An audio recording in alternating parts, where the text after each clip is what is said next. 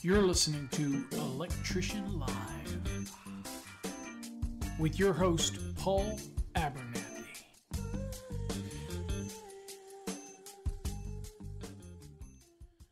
What up, what up, everybody? Welcome to another episode of Electrician Live. My name is Paul Abernathy. As always, welcome to Videocast Podcast. Looking looking kind of scruffy here tonight. Hey, Mark, thanks for following. Appreciate you. So, I usually come on on Wednesday evenings about 7:30ish to be able to do a demo. For those that are interested in a demo, tonight we are doing a demo of the Electricity 101 course. So, what is it? Who's this course for? For those that'll be watching this. Hello, Corey. Welcome to the to the actual uh, video stream. Um, so, the actual course that I'm talking about tonight is going to be our Electricity 101 course. It's kind of showing people have been been getting some emails from people who asked me about wanting things like theory and all these other things, right? So I figure I'd do one tonight on uh, on the concept of uh, the Electricity 101 course, which is a neat course, but uh, it's a lot of stuff. But uh, figured I'd show it tonight. What's up, Nelson? Thanks for coming in. Victor, what's up? I'm doing good, sir. Thanks for showing up. Edgar, what's up? Y'all are probably thinking, what? Two nights in a row for Paul? God, I love you. That's why I'm here. Anyway, um, so as you know, usually on Wednesday nights at around 7:30, I always do my demos. And tonight I'm doing a demo of the electrical or electricity 101 course. Of course, I'll answer any questions you might have or any other courses we offer if you want to see those as well. But I'm going to talk tonight uh, about the courses a little bit. And so let's take a let's kind of go and look at the uh, the electricity 101 course uh, and uh, see what that's all about, guys. So let's go and see if I can do it here. Let me. There we go. So there's my stream. Everything's good. All right, stream looks good. So for those that aren't familiar, that haven't done my fast tracks or haven't done any of our other programs, all of them are based on the, on my Cengage backbone platform. Uh, and so, and we tweak it to, as necessary for certain things, like this one here. And I'm going to what I'm going to do here is move this. Uh, nah, you know what? I'm gonna leave it like that. I'm gonna leave it. I'm gonna leave it just like that. see if I can't. Hold on here. Let me transform it and see fit the screen. There we go. So what we're looking at here is. I don't know why I'm so low on the screen. There we go. That'll work. All right, so we're going to look at the program a little bit and kind of get, get a look and see what's in this program uh, so that you have a better understanding of it.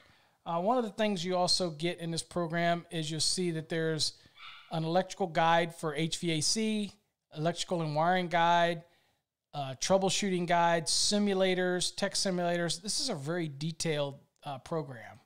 Uh, and so this is really what you tell people that really want to get a grasp of the fundamentals, the theories, electrical circuits, basic theories, understanding wires, circuits, conductors, all the the things that we all as electricians wish we had had back when we were whether you went to school or not. So uh, this program is designed for people that really want the core back history stuff, uh, you know, safety, Ohm's law, uh, people ask about it, basic electrical circuits, the concepts. Some of this might be extremely basic for some people, and some it's going to get pretty detailed. Um, it's really probably not tonight, Corey. Uh, that's for um, tonight's. I, I, just do demos, uh, that type of thing. I have a transformer video that's designed, a series that's designed for all those things to do with transformers. Um, that type of thing for primary to secondary and turns ratio and all that kind of stuff.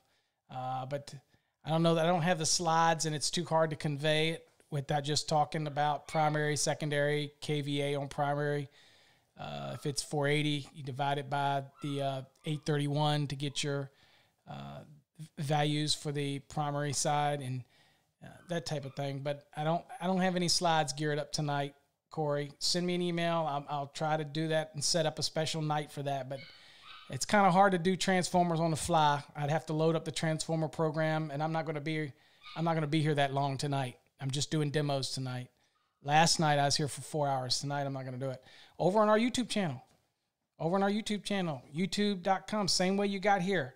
Go and you just go look back and you'll see I have a Transformer series, part one, part two, part three, part four, part five, part six. It's a full six part series. That's why I say it's too much to get into it here. I've got a whole series that is on it. So just go to youtube.com forward slash master the NEC and you can go and click on the playlists. I think under the calculations it'll be there, or you go to the top right and you click it and you can actually go to the older episodes and you'll find it. Definitely uh, find it. Or you could go to our page and then do the search and type Transformers, and I'm sure they'll all come up there. But I go into extensive explanations of Transformers on there. Okay, and that would bog me down tonight, and I'm really trying to just show programs tonight, and I apologize, but um, but I always get that when I come on. I mean, I'm uh, people love asking the questions, and I don't have a problem with that. But uh, but we have a video series that you can watch on that one. So anyway, uh, you have all these guides that are in here. They're all available, uh, like electrical wiring guide. I'll click on it so you can kind of get an idea what we're talking about here. So you see here, it's it goes through, and it's the guide that you actually use this with our online simulator. So you see, in this program, you get online simulators so that you can actually add switches and it shows you how to, you know, how you wire them. And if you wire it wrong, it'll tell you if it's wiring wrong. So it's kind of great for people, apprentices, helpers, things like that, that are really learning electrical systems. It's great for that program. Um, so they're all available, the guides. And of course, it gets into all the basics. And I just want to give you an idea. So, atomic structure, uh, Ohm's law, static electricity, magnetism, all those things that you wanted to know. This is built on the Delmar platform. So, for example, if you look at Ohm's law, I'll just go into the reading. So, you've got reading. Check this out. You've got videos. Here's the Ohm's law, for example. I'll click on that. Just kind of show you what it takes you to. takes you to a player.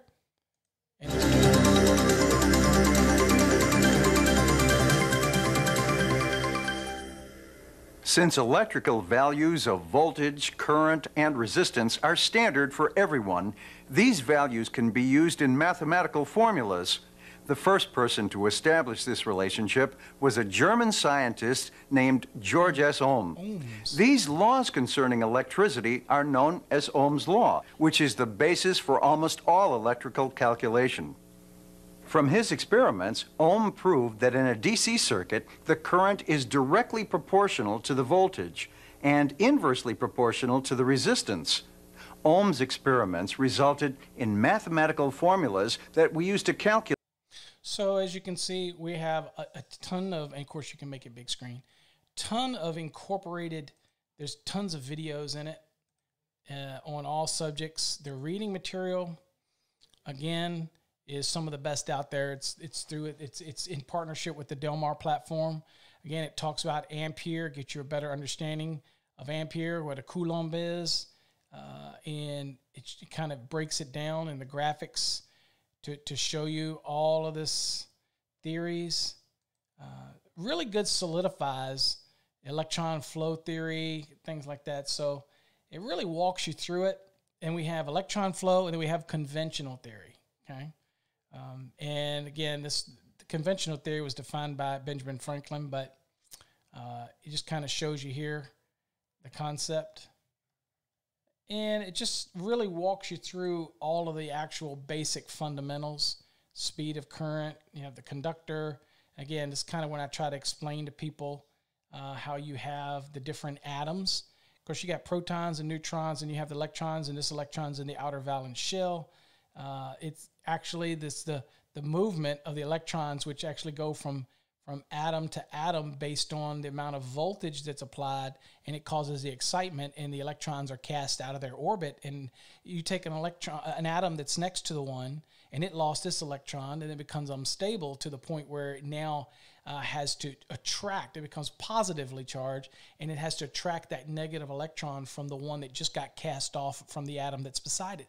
That kind of concept, theory, is what really creates you know the concept of uh, electrical flow. And so it really goes through that and talks about the distance formulas, gives you some you know data ratios to things things just can read over basic electrical circuits. So it's a really basic core fundamental.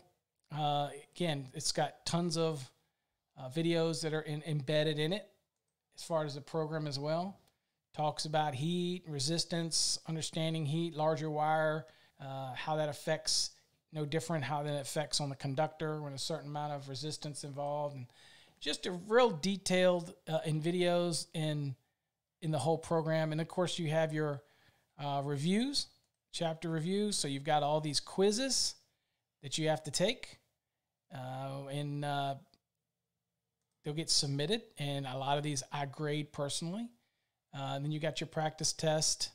And so it's, if you're really looking for something, people ask me all the time, they want to just further their knowledge uh, in electrical. And so if you're an apprentice, or you're a, a journeyman or you're you know even a master can always you know get some more knowledge there's a lot of activities in here even you know static electricity uh, all those type of things involved in it all in the reading material so that's kind of our electricity 101 and then it gets down into the basic circuits and it'll cover you know series parallel combination circuits at series and parallels uh, there's videos again all these videos that try to explain all of that uh, people find complicated. These are pretty good videos that really break it down.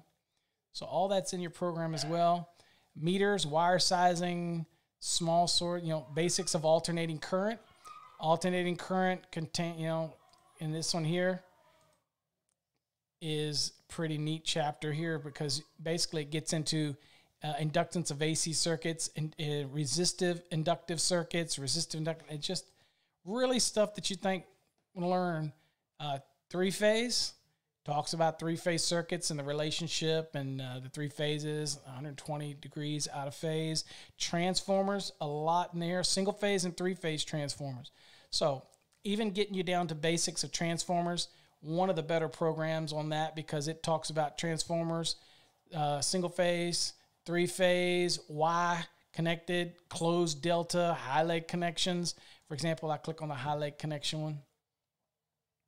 And you'll get a, a video, for example, that you can make them bigger. So this is just a really covers a lot Another of type of three-phase connection used to supply power to both three-phase and single-phase loads is the high leg connection. This system is formed by center tapping one of the windings of a delta-connected secondary. This arrangement generally provides voltages of 240 and 120. When the high leg connection is used, one transformer will generally have a higher kVA rating than the other 2 mm -hmm. The reason for this is that one transformer must supply all the single-phase load plus its share of any three-phase load connected to it. The other two transformers supply only their share of three-phase load. The high leg system gets its name from the fact that one of the three phase lines will exhibit a higher voltage when compared to the neutral conductor than the other two. In the typical high leg connection, the secondary voltage of each transformer is 240 volts.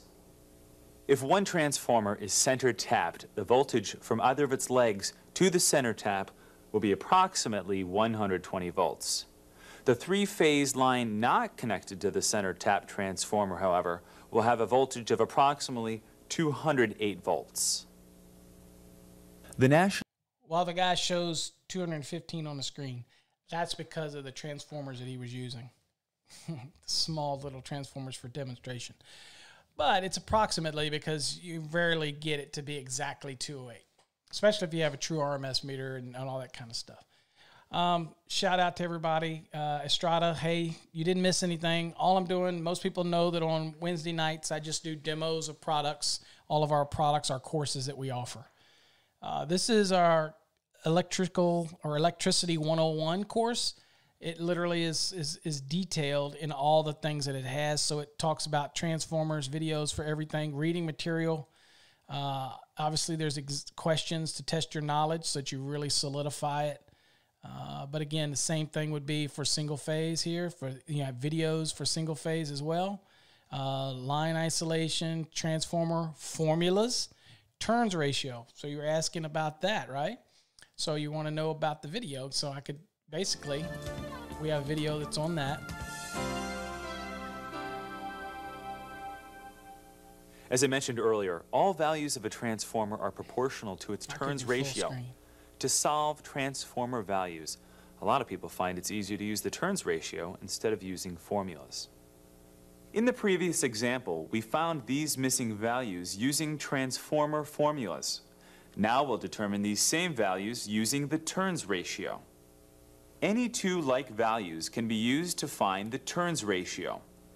In this example, both primary So and secondary looks, voltages like are known. to four ratio. So we'll use them to determine the turns ratio.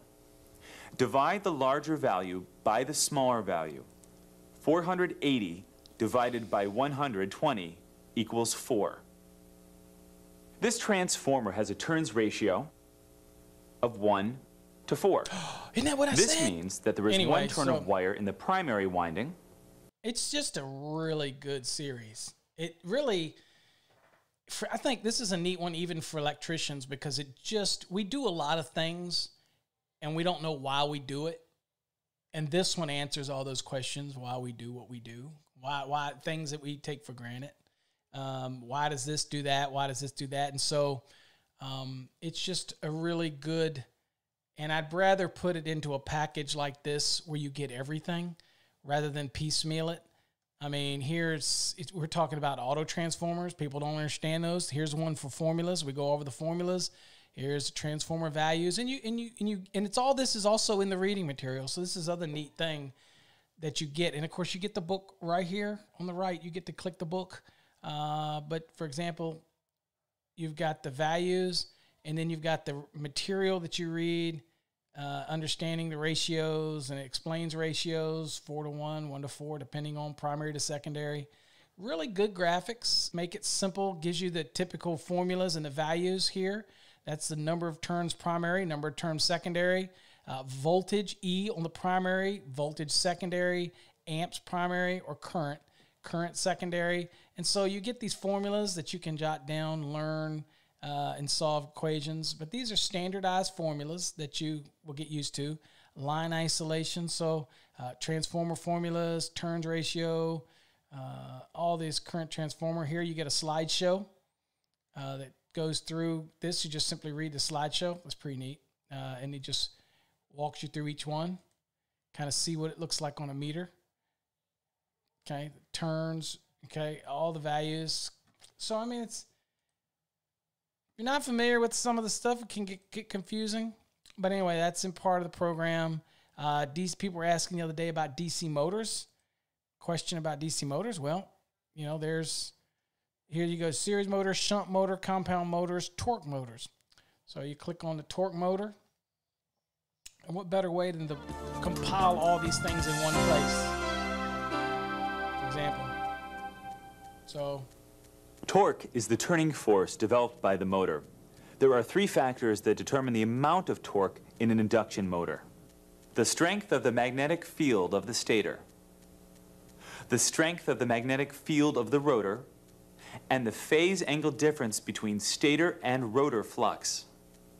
In induction motors, maximum torque is produced when rotor and stator flux are in phase with each other.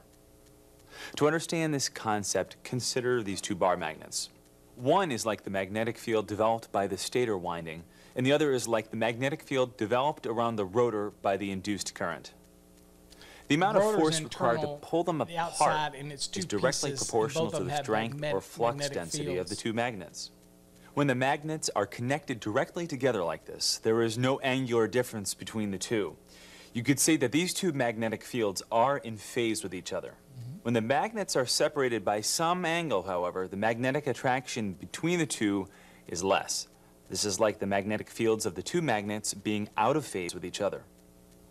The greater the phase angle between the two magnetic fields, the weaker the attraction between the two.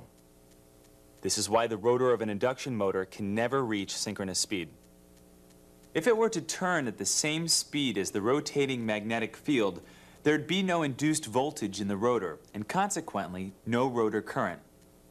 Without rotor current, there could be no rotor magnetic field, and the motor could not develop any torque. At no load, the rotor will accelerate to a point that it can develop enough torque to overcome its own losses, such as bearing friction and windage loss. So anyway, all of that gets accompanying with reading material that explains those type of things even in more detail, and then you then you watch then you watch the video. So it kind of goes through the DC motors, and of course it'll get it'll end up down here at AC motors, and it'll talk about harmonics, uh, three phase alternators, three phase motors, single phase motors, uh, motor installations. Interesting down here, we'll do some of the reading for the motor installations, kind of let you see. Uh, so again, you see there's quite a bit here, but know, let's look at motor current. So it talks about motor current in the code, gives reference, so it kind of gives us reference to the tables that we've talked about before, uh, 430.247, 248, 249, or even 250. Uh, and of course, gives you those tables, and we'll attempt to explain them a little more detail. And then it'll talk a little bit about single phase motors, and and you'll look things up on the table. Then it'll talk about three phase motors, show you how to look those things up, and conduct, con, uh, determining conductor size for a motor. It'll walk you through that and temper, you know, it'll remind you of terminal limitations, which was interesting because over on the Facebook page, uh, it kind of I had an example of it got me because I was thinking reality versus what was asking a question. So you always got to read that question. But anyway, there you go. There, notice point two. Drop the point two. It's just eighty one amps. So anyway, that's kind of that's kind of the program in itself. It's just a lot. Three phase motors. It talks about a relationship, phase relationships, and all that kind of stuff for it. So that's the the uh, the the working guide to electricity. We call it electrical or electrical 101.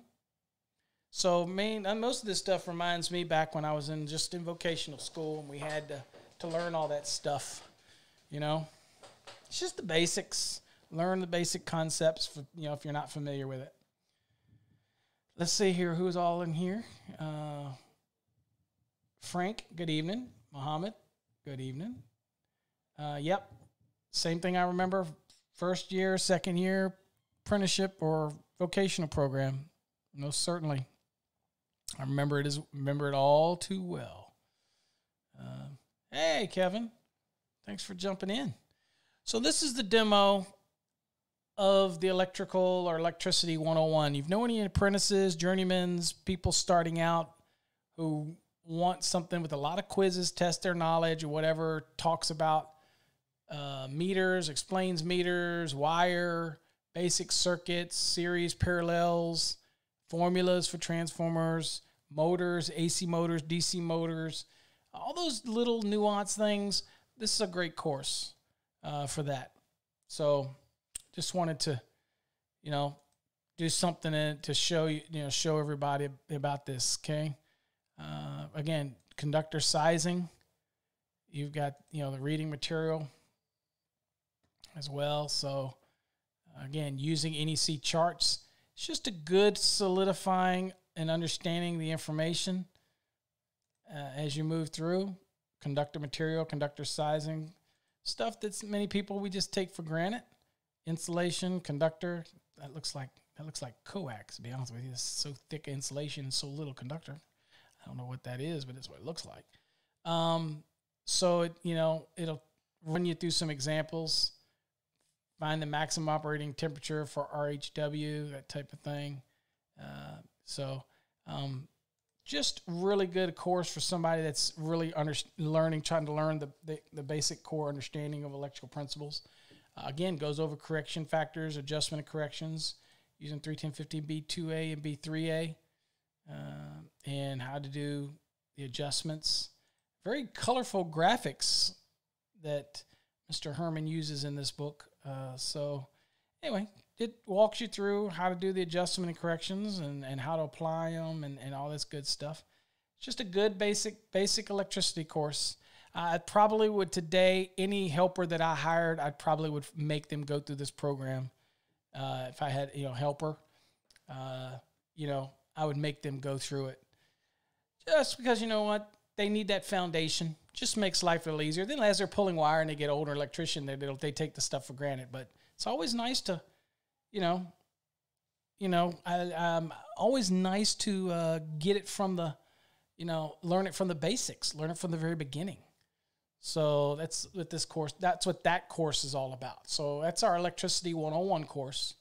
So if you know anybody that's interested in, in, in understanding the basics and learning the basics and getting all that stuff down, uh, it's, a, it's a great course. I wouldn't necessarily say this is need necessary for exam prep, but be honest with you, there's a lot of stuff in here that you learn.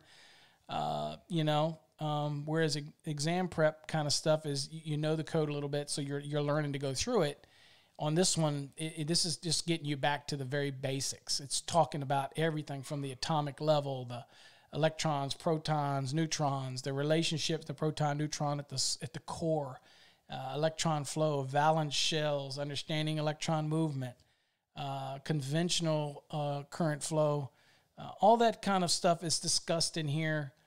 Uh, so it's this really interesting course. So I just wanted to be able to I just wanted to show you the course. Y'all can see any of the courses that we offer when I do demo night like this. You just tell me which course you want to see something on, and uh, and it's it. I'll, I'm more than happy to do it. We everybody knows we have grounding and bonding courses. We have the electricity 101. We have residential, commercial, industrial, motor control. Hold on. um, motor control. Uh, I don't know what I was at. Industrial, um, and of course we have you know obviously the fast tracks program. Uh, so quite a few. But this is this would be your fundamentals. That's right, Frank. This this is a this will be your fundamentals course right here. Uh, it really covers all those fundamental things you know that you need to understand. I mean, as you see on the screen, it, it talks AC circuits containing capacitors, uh, AC circuits containing resistance, inductive capacitance. I mean, it's just if you're looking, if you're if you've been one of those people that always just scratch your head and say, I really want to know what something means, you know, then this is the this is the one. You know, for for example, check us out on the capacitors, which people don't under, have a hard time understanding capacitors. Um, dielectric constant. People know that XHHW has a high dielectric constant, but they don't understand the concept. So 53 seconds, you can't go wrong here, man. It's like, all right, teach me something. Since most of the energy of a capacitor is stored in the dielectric, the type of dielectric used is very important in the construction of a capacitor. Air has a dielectric constant of 1. To determine the dielectric constant of different materials, the capacitance of a capacitor is measured using air as the dielectric between the plates. The dielectric material is then inserted without changing the spacing, and the capacitance is measured again. If yes, the capacitance has increased material. five times, the material has a dielectric constant of 5. Some common dielectric materials are bakelite, ceramic, paper, rubber, mica, glass, and Teflon. So when we see things like on wire and we're looking for a dielectric constant, it's it's it's basically reducing the potential for charge.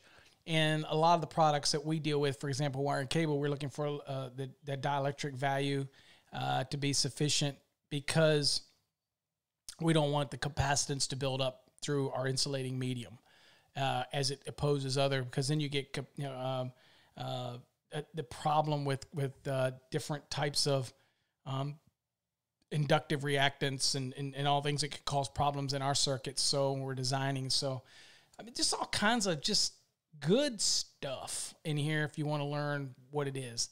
Uh, not going too awful deep, just good stuff you want to learn. Uh, but again, it's it's if you know anybody, this is called the uh, Electricity 101 course. Uh, it's just a nice course to have and use. Again, it's the same cost as our other ones. All of them. My deal was to get them all at the same price, and you have access to it for for a whole year. Go in and out of it. If you know a student or somebody that's learning, uh, vocational student or whatever, uh, or apprenticeship program, or you know somebody in an apprenticeship program and they're struggling with the different concepts, or maybe even you are struggling with the concepts of capacitive, reactive, inductive reactance, and all that kind of stuff. It's it's a great little course. Okay. Uh, so uh, that type of thing. Um, what's your question here, Caleb? Hello, late for the party. Hello, oh, great material, Caleb. Do batteries work on dielectric constant? Well, the dielectric constant is the actual medium used in a capacitive condition. So I don't. I, I think anything that creates a charge onto something uh, can create a a dielectric constant or through a certain material. So I don't know if it's directly related to a battery, but I know the battery is being used as a source through insulating material, certain type of material. Uh, but I don't think of batteries as the material. I think of batteries as the source. Okay.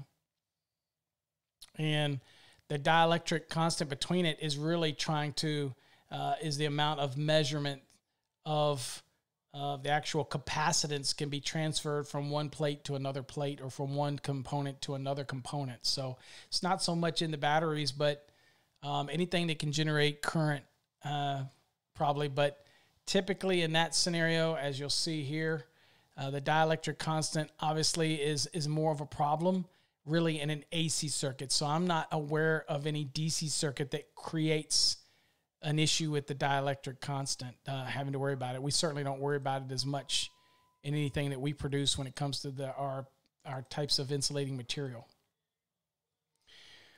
But but any material, that's why I say batteries. That's kind of it, it more so happens in an AC circuit because of the expanding and collapsing magnetic field and the capacitance that can take place. Uh, but I'll be the first to tell you, and I tell people this all the time. Uh, we offer the courses, and I have, and I moderate a lot of the stuff where the questions come in. But I wouldn't consider myself a, a, an expert on any of those things. I'm a code guy, and I teach uh, um, that type of thing. But most of the time, any in our world, when we're thinking of dielectric constant, it's usually all AC driven. Uh, there's usually a not enough force and not enough issues uh, with the DC being able to generate anything that's of any substantial amount. Doesn't mean it can't happen maybe in, in, an application, but I think it's more AC driven than it is DC driven for the most part. Uh, there are, again, other people that are far more experts than I am on this subject. Uh, like I say, I'm a code guy, so. Uh, but we offer the course, and it's through Cengage course. And the difference is we will grade your work, we will look at your work, and we'll give you know uh, there's a, a, lot of areas in here where I, you know, am pretty good at it, uh, but uh, I'm not an expert on every aspect of it. Um, the book does a good job of explaining it. The, the, content in the videos and everything does a much better job than I probably could explain some of the topics in it. But anyway, that's the course, uh, and there's a lot of a lot of good info in there. Uh, again, I didn't look at this one, so small sources of electricity conduction in liquids and gases, batteries, and other sources of electricity. So if I click this, I probably have some videos. So check this out. Voltaic cells, primary cells, cell voltage, all of these are videos. Okay. So, you know, if I'm learning what's a what's a, a voltic voltic cell, right? So you go, okay. Let's see what it is. Just playing tonight, seeing what we The got. term battery is often misused. What most people usually call a battery is actually a voltaic cell. Most flashlight batteries, like this one, are single cells. A battery is actually a group of cells connected together to produce a higher voltage or current. The common automobile battery, for example, 12. contains six cells connected in oh, series. Six, three and three. Each cell produces two volts. It doesn't take much to make a basic voltaic cell. You need two unlike metals, such as a nickel and a penny, and an electrolyte to separate the two metals. This will be an old-fashioned spit battery. So we'll use a piece of paper soaked with saliva as our electrolyte. There you go. You see, the saliva contains acid that acts as an electrolyte. And you know what? Some people spit got now, more acid than notice that when the voltmeter leads are reversed, the meter indicates a negative voltage value, illustrating that a voltage is actually being produced. Wow. The amount of voltage produced by a cell is determined by the materials it's made from. This is part of a special list of metals called the electromotive series of metals that ranks metals in order of their ability to accept electrons. Lead. The metals at the top of the list accept electrons more easily than those at the bottom. The farther apart the metals are on the list, the higher the voltage developed by the cell. Although a cell can be constructed from virtually any two unlike metals, not all combinations are practical. Hey, you know what I find interesting metals about in this? Hold on, by look a at this. cell is Look what's at the determined very by the top. materials it's made from. Lithium. This is part of a special You know, that would kind of be the reason that everything's gone through lithium. You know, it's top of the scale. So it, it's, you know, everything's going to, um, anyway, interesting concept. So just a bunch of stuff, you know.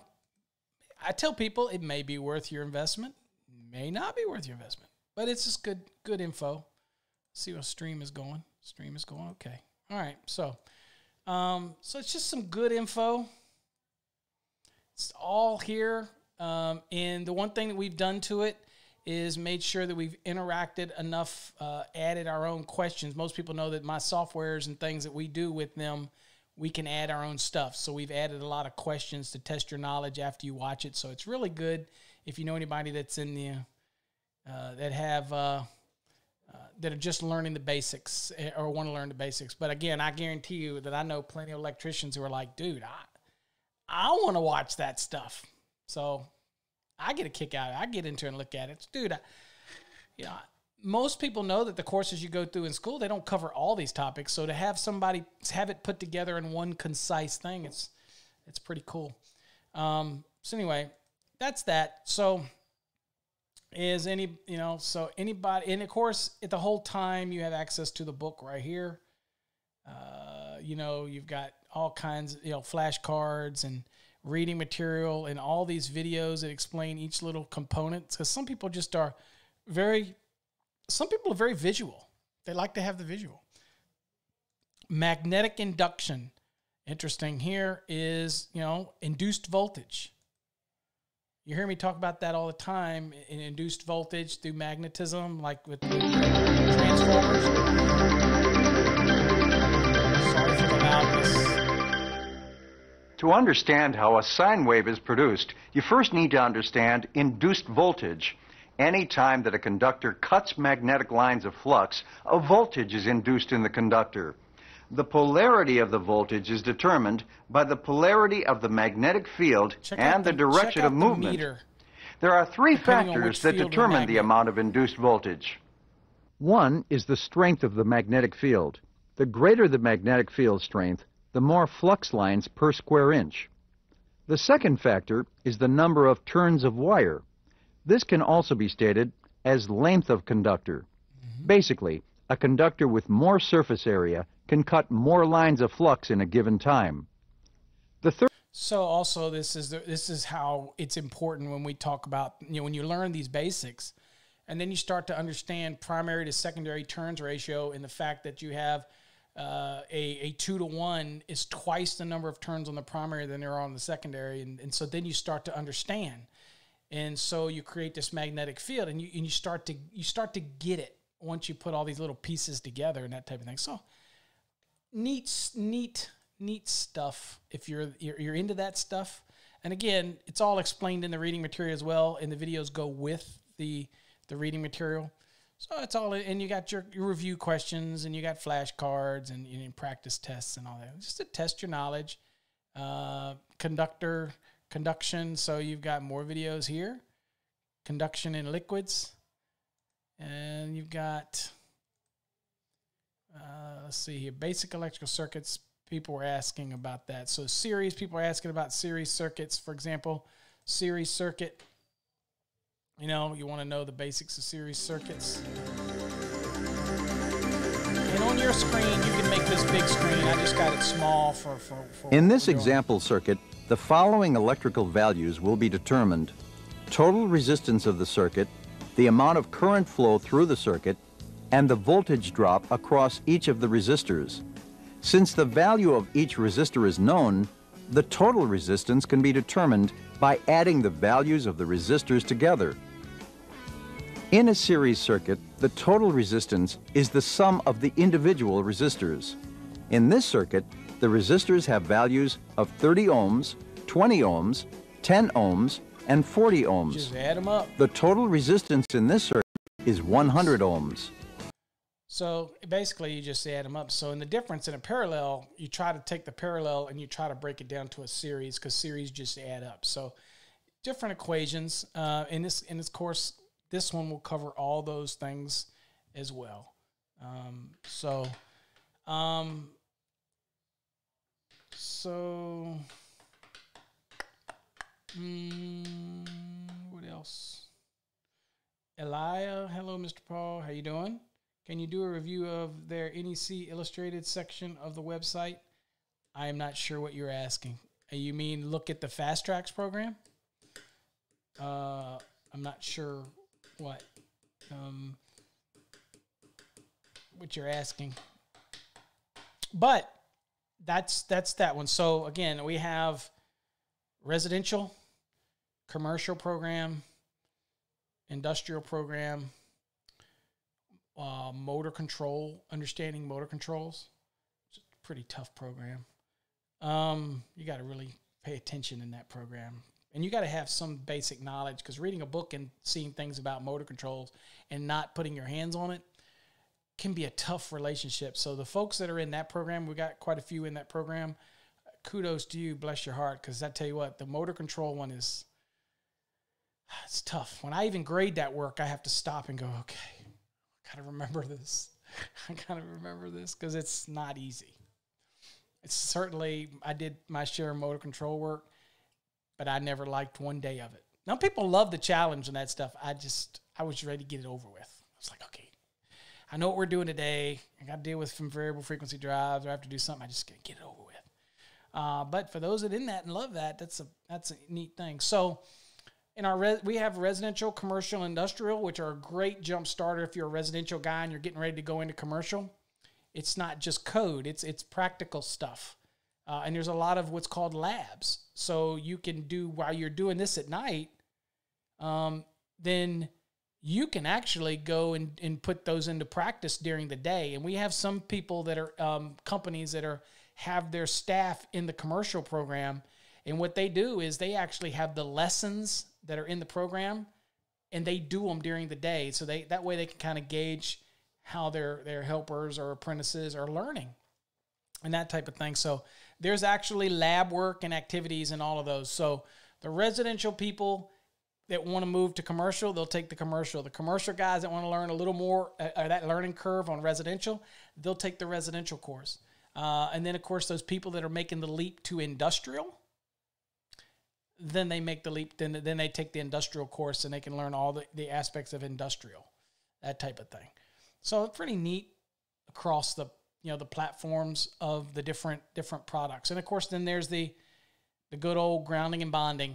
Uh, in um, uh, of those courses, uh, my involvement not in the 17 code, but in the 2020 code is in the residential, commercial, and the grounding and bonding. I've had involvement in that, um, and uh, in the, in writing those books, and it's just a great course. The the grounding and bonding book uh, itself is probably, and I think I have a, a video that links you to the best price you can get on those. Is probably hands down the best grounding and bondings book that you should just have on your shelf. I get questions all the time. Kind of call the day where where an electrician was asking me a grounding and bonding uh, question, and it's literally literally covered in the book. I mean, there's there's a lot that's. I mean, there's a Soares book, and most people don't realize that the Soares book, but it's an IAI book, was originally written by a guy named Phil Simmons, who actually writes with me the one that's coming out, that's out now, that you can get for grounding and bonding. So and it's and, and the difference is that it's more logically flowed. I mean, it covers section per section, whereas the Soares book throws you all over the place, and you're not sure. Where, oops, you're not sure where you can go. Well, the grounding and bonding book that we have uh, and the course literally walk you through the the entire process all the way back from 250.4 all the way up. Okay, so it's pretty neat. It's re- and that's a neat course online too uh, to really learn and understand grounding and bonding. And that one, you know, doesn't take that long to finish. I think uh, he, he might not be in here tonight, but uh, uh, Ronald James uh, went through that course. And by the way, Ronald, I think it's Ronald. I'm sorry if I'm getting him, if it's James Ronald or Ronald James, but he just signed up for the motor control course too. So he's decided to undertake that course. Um, you know, and that was the beauty of being able to make all our courses affordable, uh, because you know there's many people that do multiple courses, and I mean that's great. I mean I know it's money, it's hard-earned money, and I, we appreciate every bit of it, but we believe based on what you get that we've made it as affordable as we can make it, and be able to get the access to it for one whole year. Print out anything you want, print out every page if you want. Um, but we also can make all of these books available as well at a really uh, reasonable price if you're interested in a hard copy. Most people don't need it, but if you do, just reach out to me. Um, incidentally, uh, hey Frank, yep, this program that, that program looks good. If there's any other ones y'all want to see, the uh, again we have the fast tracks, we have the residential, we have the commercial, industrial, grounding and bonding. We have the exam questions only in case you just wanted exam questions only. That's great for somebody that's in their last week or two for exam and they ask me what can they do and at this point I'm like at this point you've either been studying but have you been studying for a purpose? And if you haven't been studying for a purpose and you got 2 weeks to go, then this is the way to go. Get the at the worst, get at least get the exam question only package and that's just exam questions. But again, the difference between that and the fast tracks is only about 50 bucks, 40 bucks. And then you can, even after you pass your exam, you could still go into the fast tracks and learn some stuff. So that's pretty cool too. So you have to make your decision. Uh, there's a lot of free stuff too. Okay. But, uh, so that type of thing. Um, all right, we'll look at the commercial one. Okay. Let me, let me get it. It's, that is one of my favorite ones only because the sheer amount of uh, the sheer amount of information that you get in that program is going to be for for a lot of people it's going to be extremely overwhelming but you take it a piece at a time and it's not going to be overwhelming you just take it piece by piece and it's you'll you'll you'll have no problem with it all right so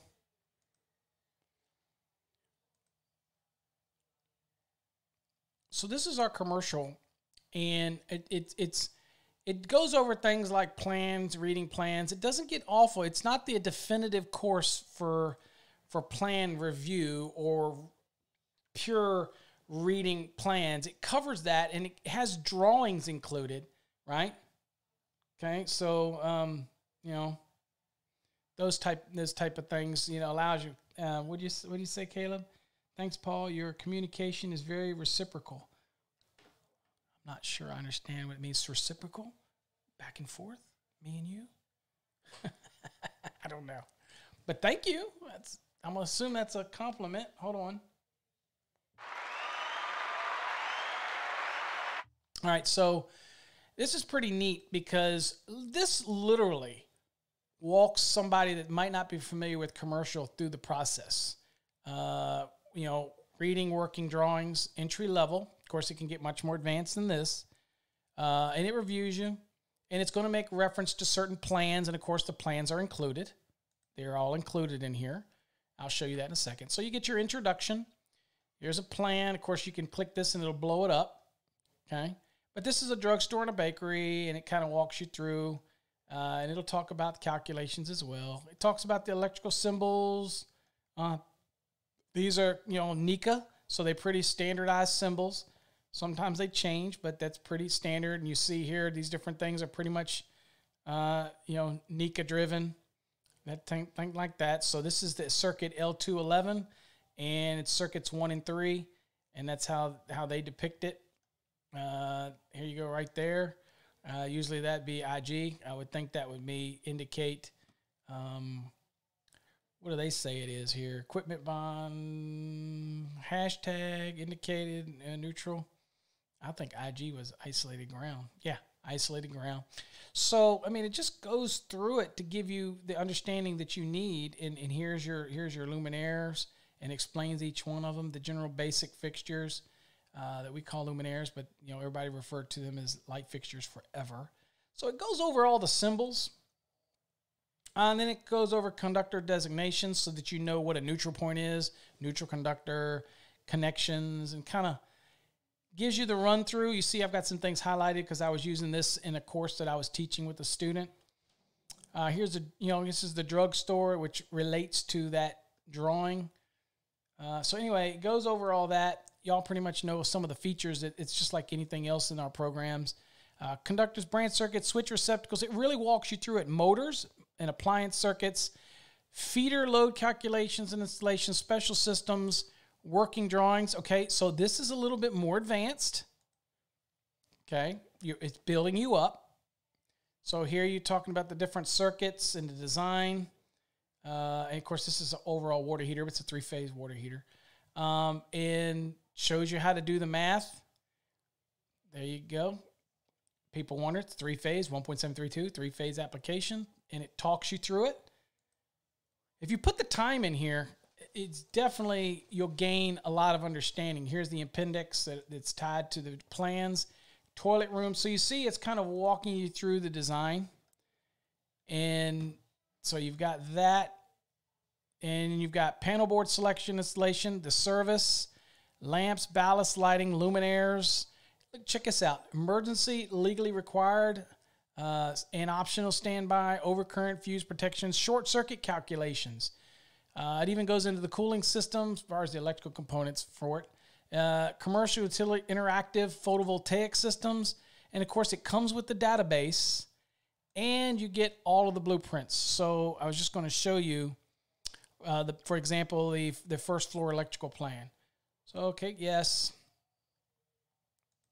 And as you can see here, you get the drawing and you can you will work the drawing out uh, as it makes you know it'll make reference through the book the different drawings and different things like but the key is you get to look and see like so there's the circuit there uh, and you see that's the home run okay powering that and here's this one's the emergency light in this set entry there's a fire alarm pull station uh, fire alarm here, a smoke alarm. Actually, this is probably a smoke detector.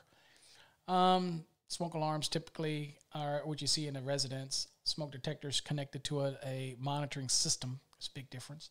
So you see, this is circuit six. This is fed by circuit four, receptacle, placement, exit signs you know, you get to learn all these things, the different luminaires, by looking at the lighting schedule. You'll see which luminaires you're dealing with here, and this is lumen A, B, C, uh, and so on the lighting schedule.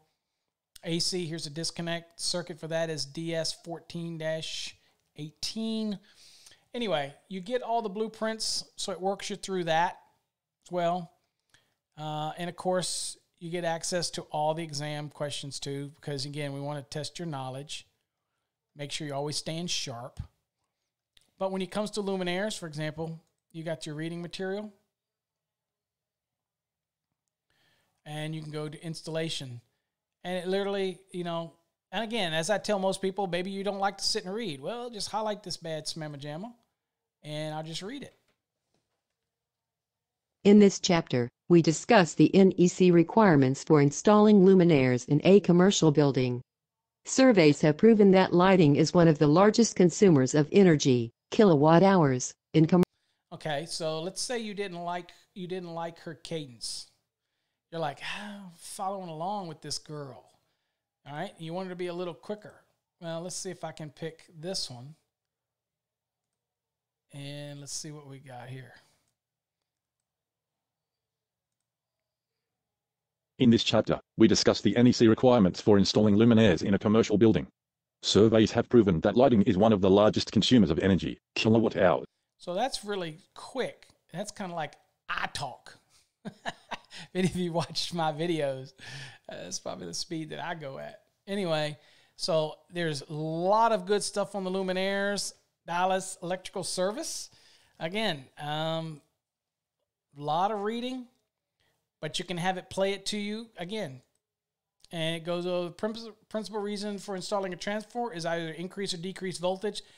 That's a powerful statement. If I want to highlight that, I can do that. Maybe I create a flashcard. Um, and you know, if I'm studying, I can create that and say, okay, I want to add a flashcard. Check this out. If I'm just testing myself, I create the flashcard and I can put the term and I can put the value of whatever that question is and create my own flashcard on that very topic. Right? Whatever I want to create, it'll it'll make a little flashcard for it. So I can highlight this, right? And you know, and, and actually right click and copy it and paste it and create something. Right now I'll I'll remove all of that. And let's see here, remove highlight. All right, so anyway, you get all this information. It goes over liquid filled transformers. You understand those. Goes over dry transformers, which is probably the more common that we see.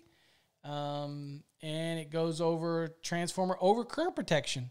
Uh, and we've talked about that. It gives you kind of a, a, not chart that you can print this out. I know people that print this out by clicking here and they actually print this out and they tuck it in their code book under the 450.3b because they like this the way that it's kind of easy laying out and gives you a visual and this is your overcurrent protection this is primary and secondary primary only primary secondary primary only uh, so i mean it's just you can print it everything that you, you have rights to print everything you want uh, in the program for 365 days. You got rights to it.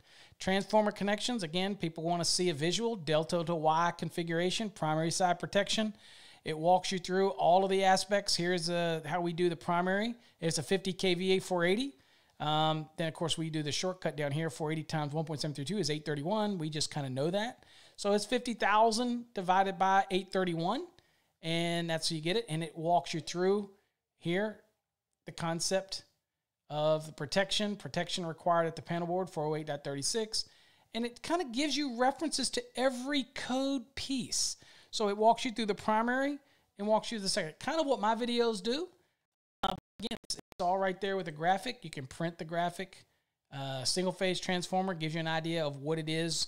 It's just one winding that drops off, say, from utility, it drops down that can give us the 12240 and so you get to see how it's doing, or if you're tapping just one of the windings of a transformer. Delta systems, it kind of shows you the layout of a delta system. Uh, and it goes over three wire delta. The other one was a two wire delta. Here's a four wire delta. Okay. Notice that it's connected at the points. When you depict it like this, you see these two are connected. Okay. So that's if you think of the delta the, the points that are connected represent this point. Okay. Sometimes harder for people to visualize it this way, but you just got to follow the connections. And this is how you're probably going to see it on an engineering schematic. So, you know, just one of those things to think about. So, I mean, here you get utility system that explains where it's coming from the utility, bus duct coming in, uh, just a lot of good information. So that's your services, panel board selection. Uh, and I haven't been looking at the comments. If there's any, I'll look at in a second. But I'm I'm heavy into looking. I'm getting all excited up in here. Number of circuits, the ratings, pr- protection, cabinet sizing, directory, uh, everything you want to know. Working clearances, depth. Really, you know. So let's look at the width here. So here's how we always look at it. Here's the equipment. It's 30 or greater. The width, the minimum of 30, or the width of the equipment, whichever is greater. Uh, and so this is giving you some examples here.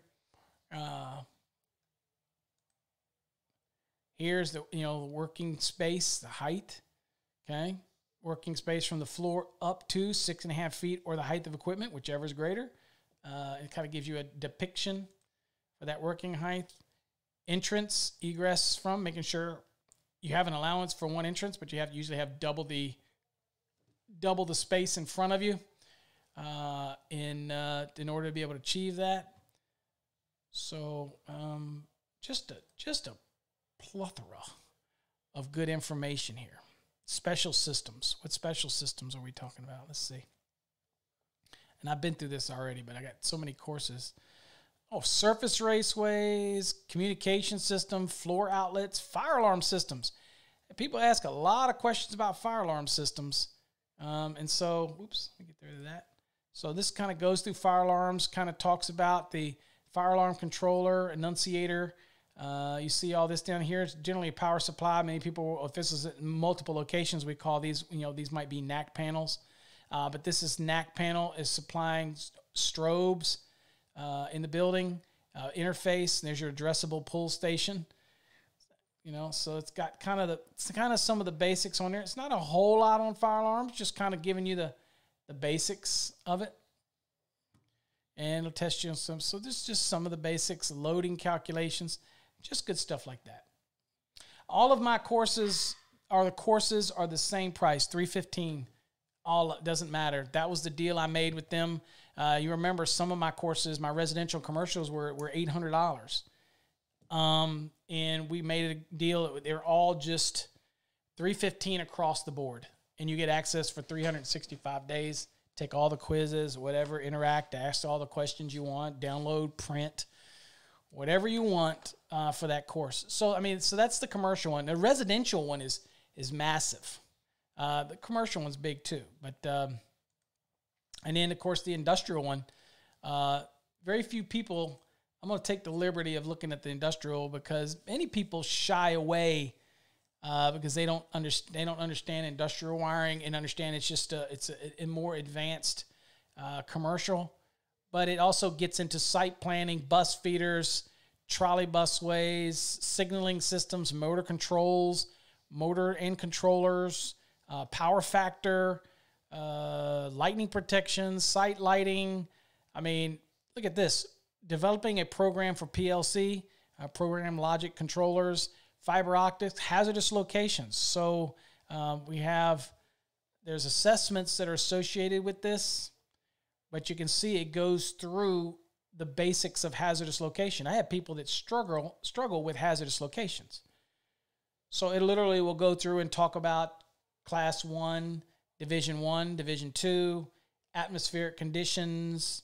Uh, the different Group A deals with um, acetylene, and you know, the group, group B is dealing with uh, flammable liquid produced vapor. I mean, just kind of goes through and gives you all these things, and there's actually uh, a reading, and there's assessments that you can take with the as well to test your knowledge.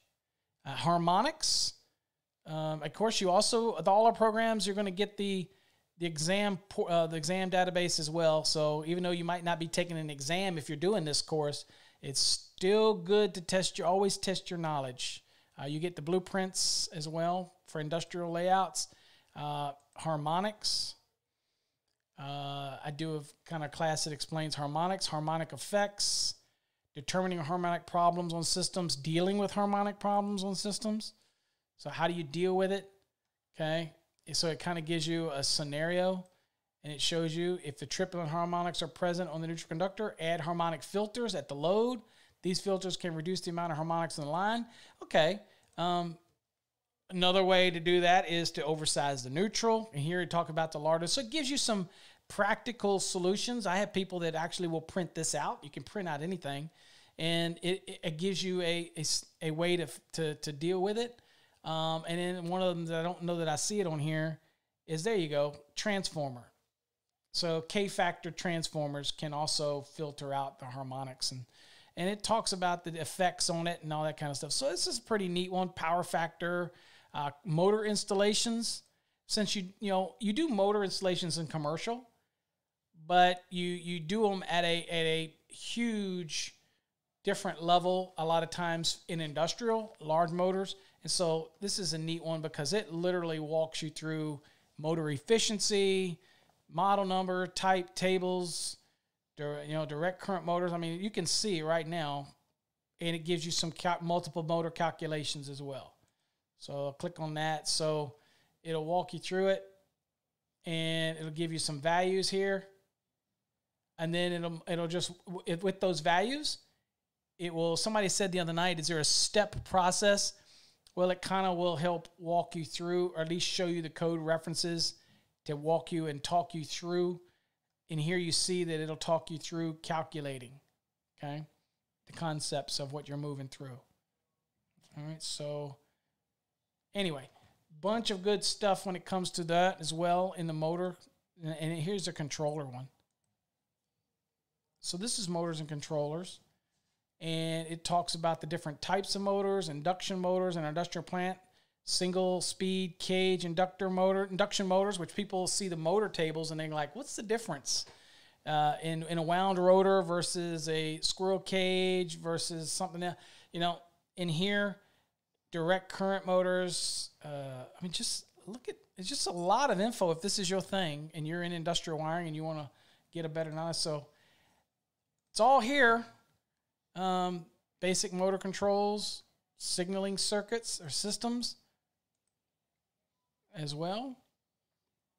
In this system, you know, it talks about programming, fire alarm systems. Again, I looked at this one uh, a little bit in the other one, but this just goes through the pieces that are involved controller module interface, fire alarm module, what it would look like. Uh, there's a smoke detector, uh, which, like we said earlier, it's generally going to be a smoke detector. Uh, it's funny how this says smoke detector, but it says right on it smoke alarm. Uh, but generally, smoke detectors go with uh, something that's going to be controlled or is going to have some kind of controller, whereas a smoke alarm is generally what you'd see in your house. Uh, there's your there's your light for your candelas, and it kind of gives you some basic basic stuff on it. Okay, not overly complicated, so you should be able to move through it. Uh, panel boards, bus systems, unit substation, uh, plans, reading, overview. You know, it's going to be something that talks about construction plans, planning, contour lines.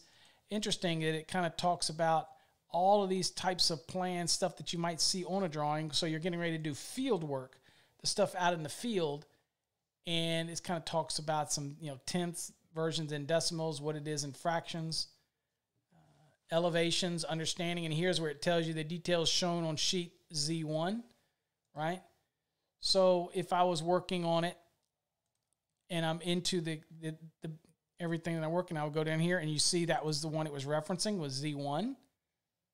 Okay, so here the, the Z1, and of course you can download it. But here's the the actual drawings, an actual drawing set, and you just simply can you know take it, download it, you rotate it, blow it up, whatever you want to do. Uh, they're all available. Uh, the interesting thing about this is that uh, it didn't come with the original course, but I have added them for you. So if you bought the course just from Cengage, you wouldn't get the prints, and people complained about that. Well, I took the liberty of making sure that my courses have all of the documents that need it. So I have altered it to make sure that you have everything. So it's just if people that are interested in industrial, there you go. Uh, MB, you go to our website, masterthenec.com, just M A S T E R T H E N E C.com, and all our courses are under the course link, and you'll see them all uh, there, and that's where you get them. You enjoyed doing you Caleb. You enjoyed PLCs. So some people love it. We have guys in our facility where I'm at, I work that literally they love it. I mean, they love it. I mean, they do it all the time. Um, I, I'm not. I'm just not. I guess I'm old school. I'm leave me the leave me the voltage and current and whatever. And programming, I'll leave that to somebody else. know how to do it. Know how to software involved with it. Just don't have a. Just not. I don't get excited about it. But you know, the younger folks, in the middle, younger, I can see where that's there now. That could be it's a specialty. You learn it. I'm tell you what, you do the you learn motor controls, PLCs, and all that kind of stuff. Then you can almost name your price anywhere that's necessarily needs that kind of thing. Um, um, oh no, industrial, yeah. Uh, Benjamin, welcome. Which course do you recommend for someone who is not trying to pass a test but wants to improve as an electrician? Well, Benjamin, it um, uh, yeah, we have a lot of like I said, a lot of our other courses are not designed for testing. They're designed to just improve your knowledge and your skills. Um, and they're purely voluntary. I have people ask me all of that. and They say, "Well, am I going to get credit for licensure? Am I going to get credit for renewals?" I'm like, know, our courses are most of all of our courses, except for our partnership for your continuing education, and hopefully you're using that if you're getting your CEUs, because um, we partner with them. But at the end of the day, um, these courses are really just to build your knowledge. I mean, that's what it's all about. What's up, Danny? Thanks for joining. Um, I'd like to shout out to Danny. Danny did join our Patreon.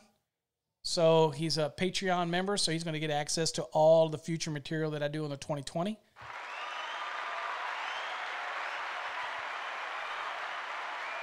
Danny is gonna is a monthly supporter of that, and appreciate it.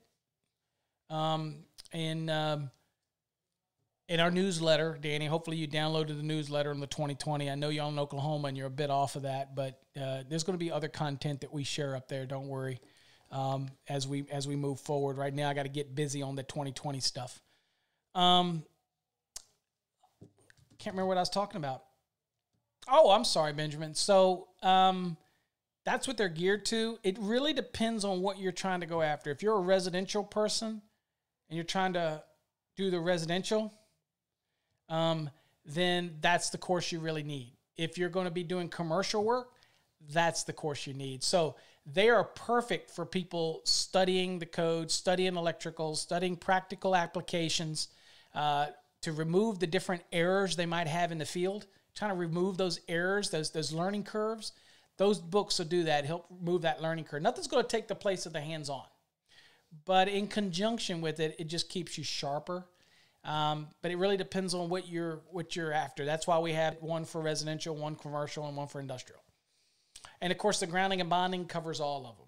You know, so um, anybody wants to see the grounding and bonding course, I find that probably because I'm on code making panel five, that the biggest issues around the country I see is people just don't understand grounding and bonding. They just, for some reason, seems to get people whacked on it. I don't know. I don't know. Uh, but uh, uh, what else? But yeah, it's whatever one, Benjamin. It's whatever one. All of them are going to make you a better electrician, obviously. But again, it's not going to take. It's not going to take the place of a hands-on. You know, doing it, just literally doing it, that type of thing. But again, that's why we. That's why we have apprenticeship programs. We work during the day, and we go to apprenticeship at night and this is the kind of kind of like your apprenticeship. Um, I had a, a, today I had a um, electrical contractor I think purchase um, multiple programs for his for his for his folks that work for him, and they're going to basically this is like a university. I mean, this is like a school. You get your login, you go into the portal, and I track your grades. I watch it. I see how you're doing. I can see everything that you do in the program. Okay. I can see everything that you do. And when you submit your competency reviews, if your grades are low, um, I'll tell you. I don't candy coat anything. And if your question is not 100% right, I usually take points off for it because you know what? You, you have to learn.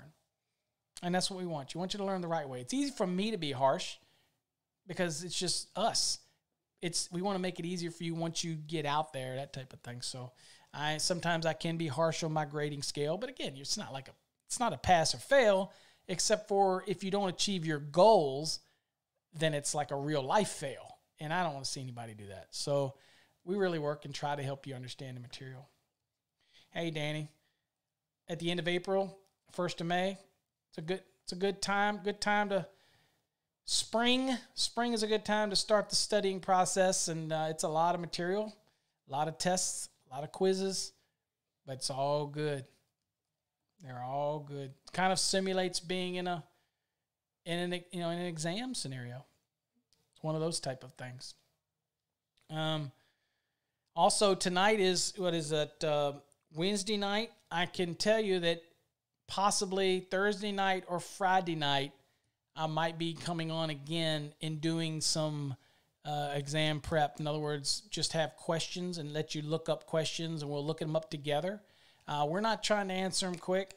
We're trying to just look them up and learn.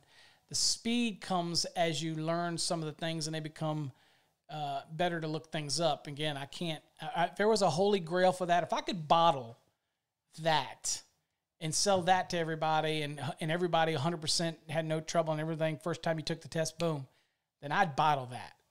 It takes a little time. Some people get in the first time. A lot of our students nail it, um, but it takes a little time. You can't go into the fast tracks program and, and then think in a week or two that you're going to be able to do it. That's that would be foolish to think that way uh, because it's a structured structured type of everything's in there logically in in the order that it needs to be. So if anybody that's in that course um, to fully appreciate it, you really have to follow each unit and do the su- do the quizzes and then do the section quiz. But I think what some students aren't doing that are in the program, the fast tracks program, is that they're not going to the bottom and doing some of the quizzes or some of the practice exams while they're doing their other work. They need to do their lessons and then they need to go take the quiz. So because there's a lot of them. So they should be taking at least one quiz a week, at least one, at least one quiz, right? So, uh, oh, you talk about the PLC, eight car lifts and a PLC for each unit. Once you get the sensor wiring down and understanding which con- uh, connection goes where, it's pretty cool. Motors involved too. Yep. Syncs up the motors, everything just um, the last one that I did was we were working on a, a PLC application for a coefficient of friction machine at our at uh, Encore Wire, and that was all PLCs and uh, hooking all that stuff to, to get everything to sync out right and do everything. So it was pretty cool. Uh, get the business law book. I did find a place to get the business law book and do questions. There you go. The book is sixty five, and the online course is like 99 you think that is fair for the book they give access to the course for 365 uh, that's what i do with my programs um, and it, if it's a course that's that's dealing with those those aspects of the of the legal part uh, and things like that then i can tell you be honest with you danny that part's probably not going to be real difficult for you because you can actually get the book and they let you take it in for the exam probably uh, but if you want to focus on code and you don't want to have that other type of stuff just lingering over your head, right? Like, oh, I got to do legal part now or the business law and all that kind of, which is probably going to be very basic. It's going to talk about the, you know, penalties and fines and all this good stuff. Um, then, you know, one of the things with that is probably the concept of, of the legal stuff just makes it easy. You know what I'm saying? It just makes it it makes it much easier to take that stress away from the, the law part. That's what people ask me, California and other states that have the legal part or the law part or the administrative part. I don't teach that. I just teach the NEC um, because it changes from state to state, and usually they make the books available. So I, I would say that's probably not bad at all. Thank you, Danny.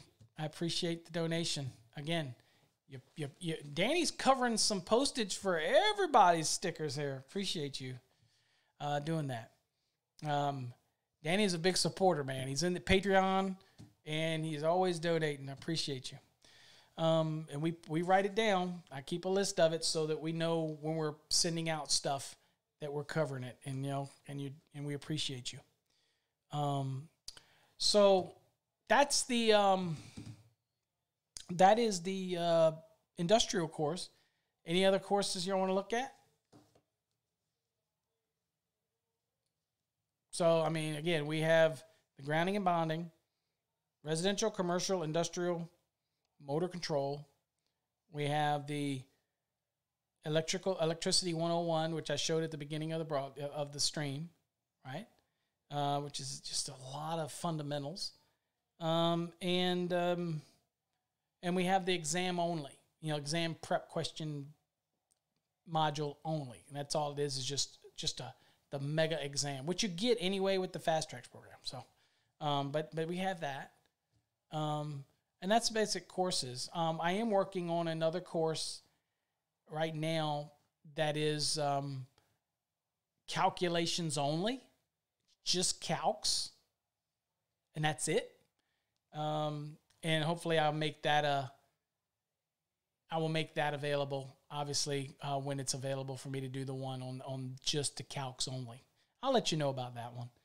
Um, yep, Danny. NEC is the one that's really going to make or break it. The other stuff's administrative, usually not that many questions, and they're pretty common sense. And if you look them over, you get used to them. Common laws is things about renewing your license by the laws of the state and that type of thing. It's the code that'll get you. Okay. Um, funny thing about Texas is that Texas is based on a small part is on OSHA. Uh, safety, which is hardly nothing simple. Um, and uh, and you can take the book in. Um, and then uh, there's the the code, okay. Uh, and then there's administrative. There's administrative for Texas, and and and that is a document that you can download for that that they allow you to take that in as well. But again, be honest with you, I tell most people uh, the safety stuff was common sense, and the administrative stuff you just spend a couple nights looking it over and it's it's just it's just it's just rules that you have to to remember because they just want to make sure that the contractor is going to follow the rules. You know renewing your license penalties fees um, if you're late with your payment how many months you can go before the that's the kind of that's the kind of stuff that's usually in those administrative things. They want to make sure that you know that if you get your license that you're going to keep your license and what happens if you violate it or do something. They want to make sure you can't play dumb with them and say, "Well, I didn't know." Well, if you if they put a requirement on the test and you pass it, then they say, "Well, you got to know. You passed the test." So we hold you accountable. That type of thing. So uh, grounding and bonding, Caleb. Yeah, look at the grounding bonding. So let's see here. I will. The grounding and bonding 101. Now we used to have this ultimate guide one. If anybody ever asked about that, that's the one where uh, I actually met every week with the students, right? And uh, yeah, you can get the administrative part from the state. They have to provide you that. It's usually on their website or whatever, or contact them. They'll give you you, you get that. Usually, you can go and download it in a PDF, that type of thing, uh, that type of scenario. But yeah, usually all of those they've got. What happens is, Danny, if you go look at the actual, if they do PSI, I don't know if they do PSI, they will actually give you the document, the reference documents that you need for that test. So I don't know if they do PSI, but you go to psiexams.com and go to Oklahoma, and they'll actually tell you what books to have to cover those things. Yep. So that'll all be there. So just go get their bulletin from PSI and it'll tell you every book that you what, what you need. And a lot of them, you go online and Google it, and you're probably going to find them, and that type of scenario. Um, and they're good books to have if you're a contractor and it's administrative or contractor with the laws. I tell everybody we we invest in our future. Administrative and laws and things like that for a state. It's always good to keep a keep a copy for your company. You know what I'm saying? Just to have it. Now I have it all in documents because I teach the course uh, in the state of Texas. So uh, I have the documents from the state. So to teach others, to other people, if I hold one of those courses. I haven't done one in a while. Keep renewing it, but I haven't done. I'm just never home enough to do that in my state.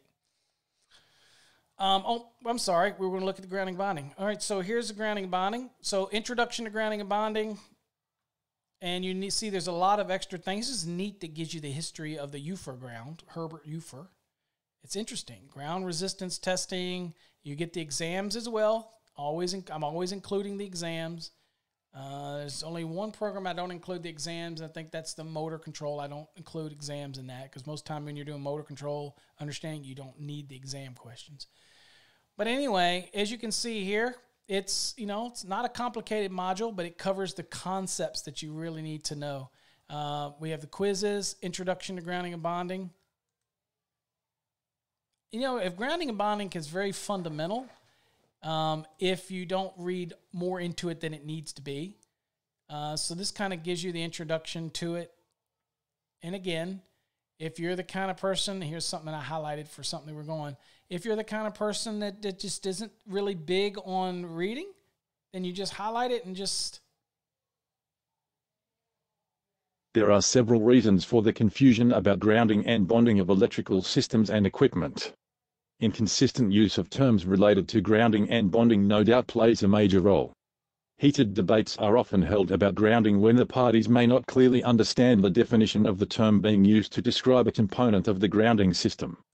So, if that's too fast for you, right, then you can slow him down and we can go with a male voice. I, I, sometimes play with this this stuff, and I go here and I go, okay, read it. There are several reasons for the confusion about grounding and bonding of electrical systems. so that is a Texas voice right there, because that's how we do it in Texas. Okay. That's how we talk in Texas. Not me, because I'm from Virginia and I just go pow, pow, pow, pow, pow. Anyway, sorry, all my Texas, you know. Um, so anyway, you could change the cadence of it and the voice. And uh, to be honest with you, I don't, it's like ebooks, and it's pretty cool because when the fast tracks program, what I came up with this concept called, you've probably heard me talk about it, called ballistic training. And it's where you read it, you see it, you hear it, and it, stuff just seems to stick. So that concept works in all the programs. So you highlight it and you read it as it's playing, and it it's just something. It just about it sinks in better. And I don't think I've ever heard anybody talk about it. So I coined it. Okay, I, I just coined it ballistic training because it literally does make you read it, you register it, you lock it in, and those type of thing. Okay, and so um, it's just it's it's just a good option. It's there for everything. So that's the you know that's the kind of the grounding and bonding concept. Um, it goes through it, and again, it, it also has the gra- graphics that are still has a lot of definitions. Tries to explain the definitions so that people understand. Ground is the earth, uh, and then of course, earth is ground. Uh, and then of course, it has the appendixes when it references it so that you can understand. There's an actual guide to determine the soil electrical resistivity or resistance. There's uh, there. Here's a good graphic. So this is an example of when we talk about a separately derived system. People were looking at talking about the other night. So here's your generator, and here's your service coming in. Here's your transfer switch. Here's the feeder panel board, and here you see all the poles are switched. So other than the grounding and bonding component, there is no physical connection between the primary side and the secondary. I use that loosely because that's transformer. But I'm just saying the part coming in and the part coming in from the generator, that when it's switching, it literally switches all poles, right? So that's a separately derived system. Transformers separately derived is you have a primary to secondary, and it's a separation, okay, between the primary and the secondary. And um, so that's you know, so this goes over the system and it tries to explain it because there is fundamental things in 250.30 that you need to understand about separately derived systems and when it's not separately derived systems and what you do. Since this is a separately derived system based on the transfer switch, notice that it has a grounding electrode system at the generator, whereas a typical residential that is going to have a solidly connected neutral, you're not going to have that ground rod there. Okay. Now, you could have the ground rod, it just can't make a connection over to the grounded conductor. It might be something that the manufacturer or the generator requires. We talked about that the other night, okay? But, uh, you know, Danny, very experienced with generators. Uh, but that's kind of, you know, it walks you through it. So, but I still get calls every day that people screw things up with, with, uh, with uh, grounding and bonding. They just simply take it to the extreme and, and screw it up. Here's an example right here where you can't just drive ground. So this is a good example. People call me and ask me, can I drive a ground rod at a, a, a luminaire that's at a parking lot lighting? And I say, you can for lightning, but you can't and expect to clear an overcurrent device.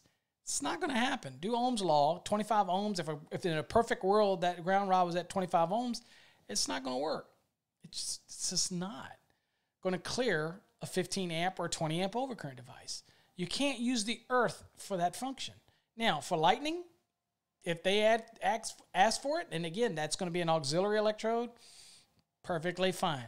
What size conductor runs to the auxiliary electrode? Whatever size you want it to be. It's not the same as the required size for a grounding electrode conductor, which is, is, is at least it doesn't have to be larger than a six gauge copper or four aluminum if you can run aluminum to the ground rod, but you can't run it within 18 inches of the earth. So might not be able to. But at the end of the day, we see this all the time at light poles. But you just got to remember, I have to run an equipment grounding conductor with that circuit because I can't use the earth. But people want to, they want to drive ground rods everywhere and think that that's going to clear a device. It is absolutely not going to clear a device.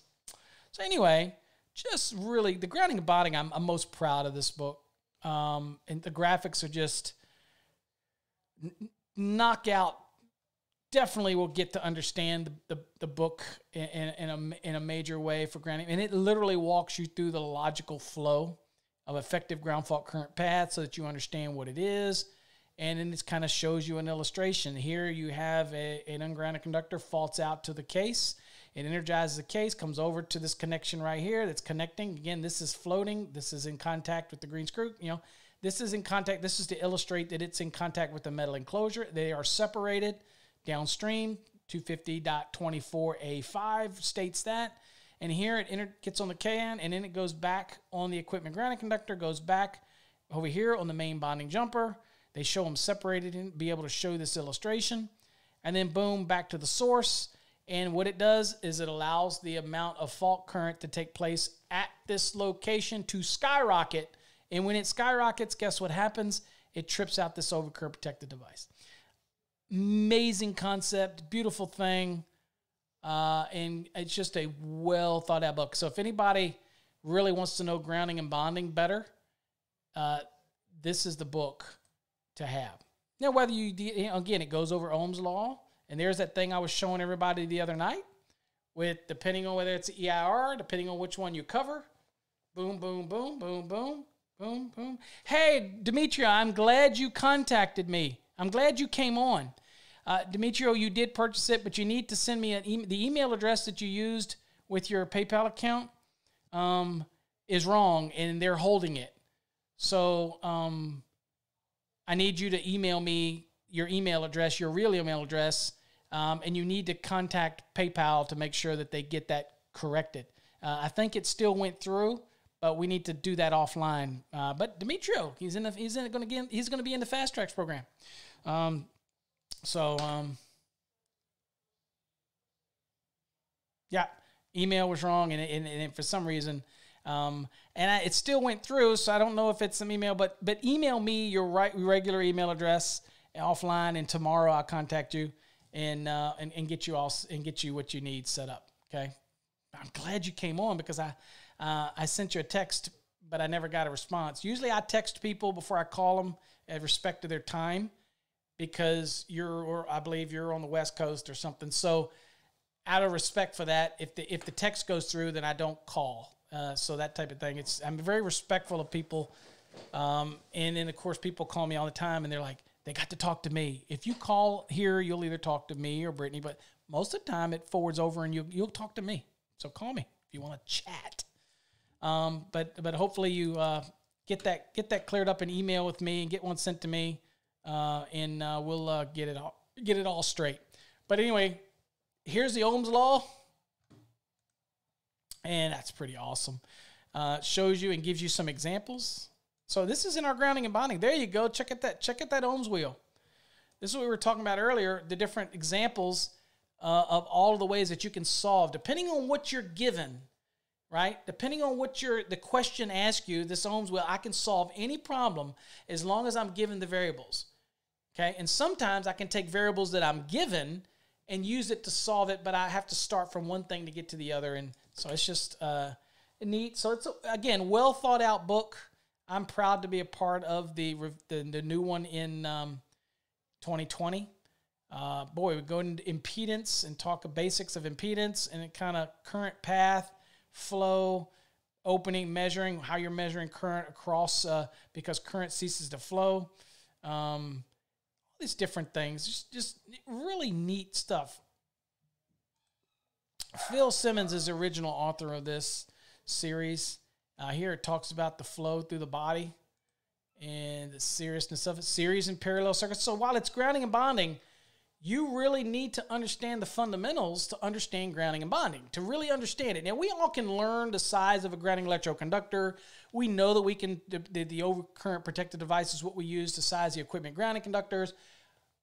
But do we understand why? And do we understand the circuits? And maybe you're the kind of folk like me who likes to know that stuff. Maybe you're not. Maybe you're somebody that's like, ah, no, I don't care. I just want to get my license. That's it. Somewhere down the road, you're going to want that knowledge and it's so much more rewarding. We're only here one time. We only go across we only are on this earth one time. And there's a certain number of people that are just happy with the minimum bare minimums and there's a certain number of people that just want to keep learning. I'm focusing on those people. I will help you get your license but i'm also focusing on those people that want to long term learn it and retain it. You don't have to quote it. You just need to understand it understand the concepts and trust me, I have been in cases where I have been the expert witness on grounding and bonding cases where I wish they had gotten this book. I'm just saying because accidents happen, ignorance can't be excused away. Um, anyway, so it's a great book. I'm sorry, I may catch up on some question. Um,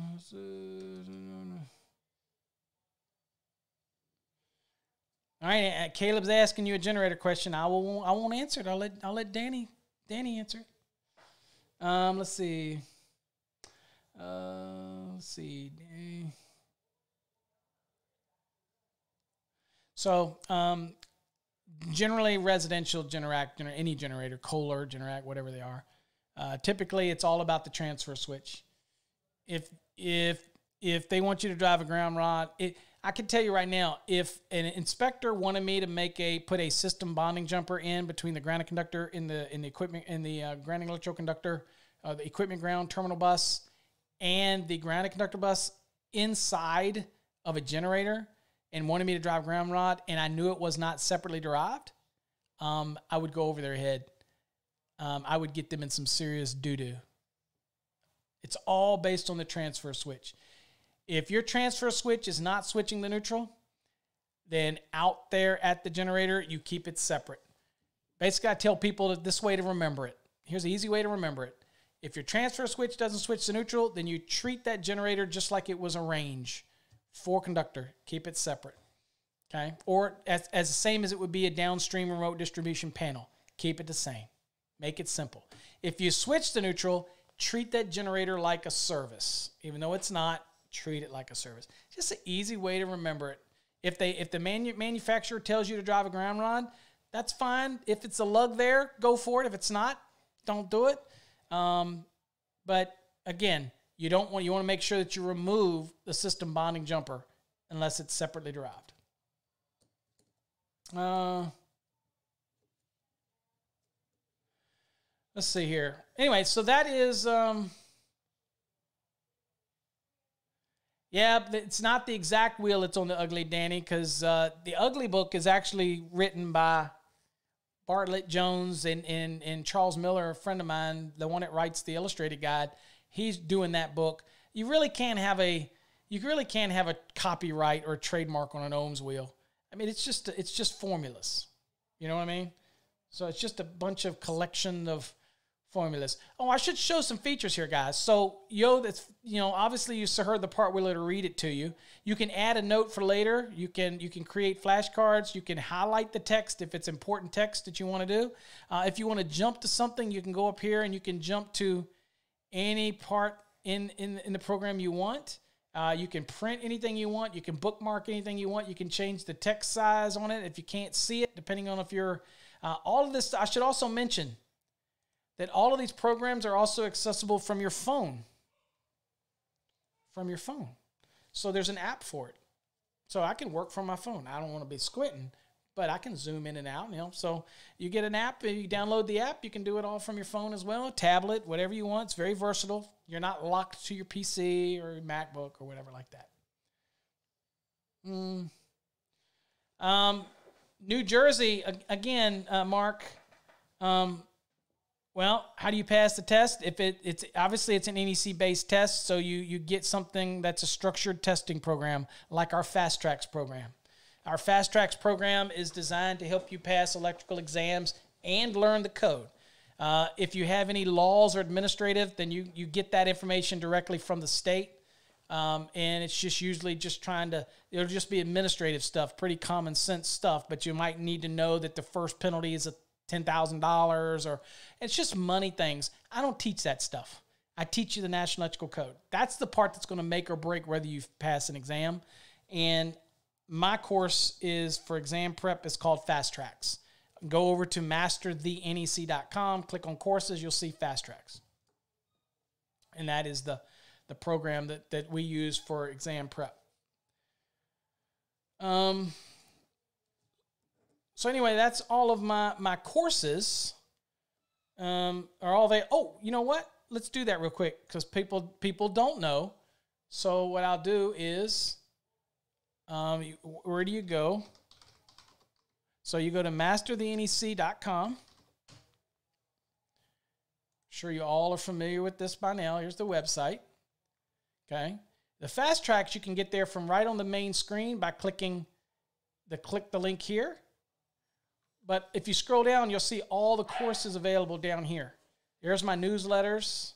Here's the grounding and bonding course. Here's the industrial. Here's the commercial. Here's the motor. Here's the residential. Here's the fast tracks. Here's the electricity 101 course. They're all accessible. Uh, and here's the one for 10 student and 15 student bulks. These are the ones that the companies buy for their for their employees.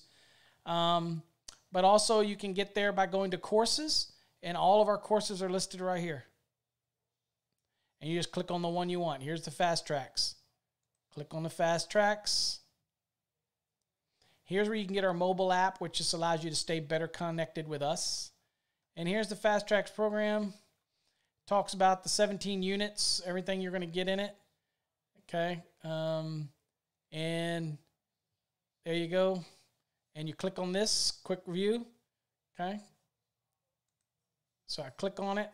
Let's kind of show you what it looks like. And here's what it kind of looks like. And you just, those that have done it already, you go down here, you simply add to the cart, and you're good to go. So that's the that's you know and then of course we have our podcasts and our webinars and merchandise for those that are interested in our our swag we have tons of swag shirts and what goody goodies so you can get there from here if you're like danny you get 10% off on everything when you become a patreon member. Here's our patreon page. Actually you're seeing my page so uh, public view. So here's what kind of looks like how you become a Patreon and uh, get involved in our Patreon stuff. Um, if you're interested, uh, let's see here. So, at any rate, okay. So that's kind of our courses. We have a bunch of them. Um, the 2020 courses will be rolling out, or uh, the residential and the commercial one, and the industrial one will be rolling out in a couple weeks for those that want to get the 2020 and get jump start on that. Um, so um, that is uh, doing with that. Um, I don't know what else to, to, to I don't know what else to talk about tonight. Okay.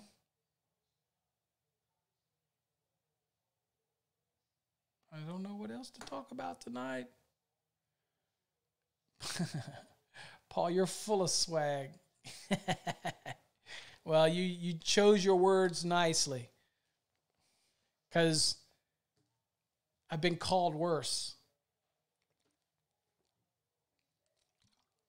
Somebody asked me if I would put together a curriculum package where they it's kind of like a university type of thing and we're looking at putting together a a program that that is be honest with you, each one of these courses have a year access.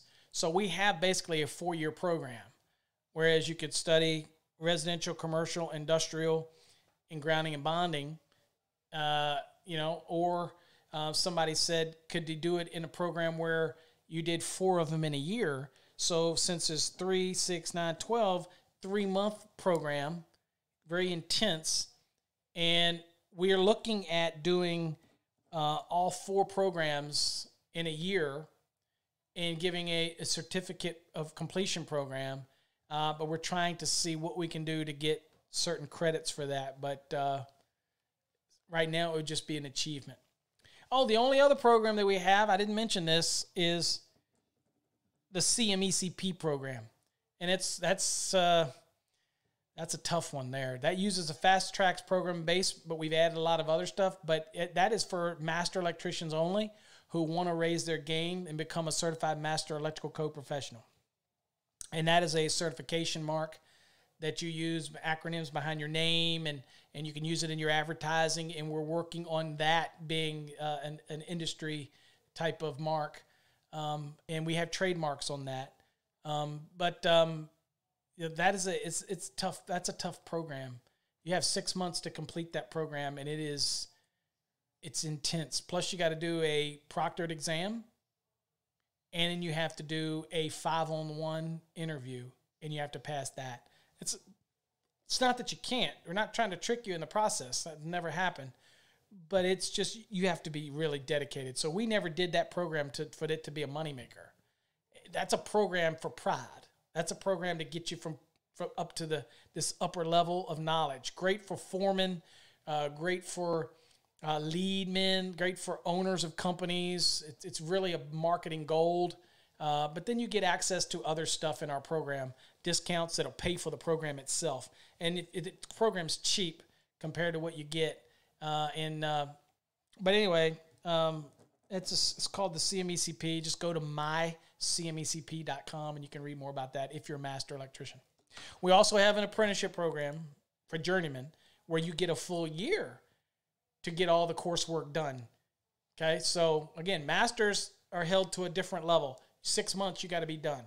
A journeyman, you can use that to prepare for your exam. If you want your master's exam. You can use that with the intent that you're going to pass the masters within that year because part of the prerequisite for that you get a whole year but you've got to become a master by the end of that year to be able to take the proctored and the final five on one. So it gives you a little longer okay? But it puts it puts the pressure on you. You have to become a master because we're trying to promote people to move up to be a master you know move forward get to that pinnacle and if you're in a state that doesn't have master licenses then the equivalent would be like electro Ohio. Ohio doesn't have masters, right? But they got electrical contractor, which is equivalent to a master. So we, there's an equivalence program as well. Uh, let's see here.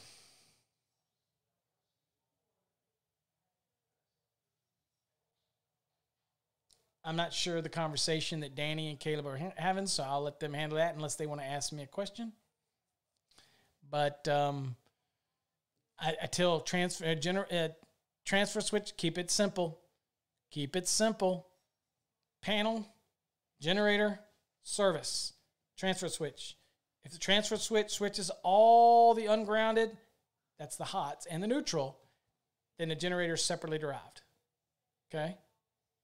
You know what I'm saying?